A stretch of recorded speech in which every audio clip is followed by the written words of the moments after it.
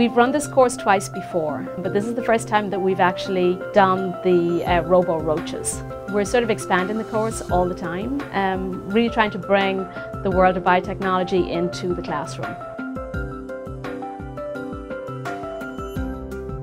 Anesthetize the roach, cut into its antenna and you feed wires that will be your pseudo antennas into their nervous system.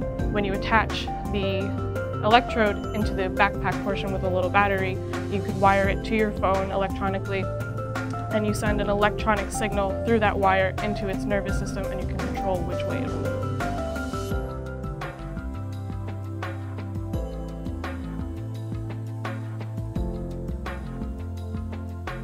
It mimics an action potential as if it had bumped into something. So if you shock the right antenna, it thinks it bumped into something on the right, so it turns left.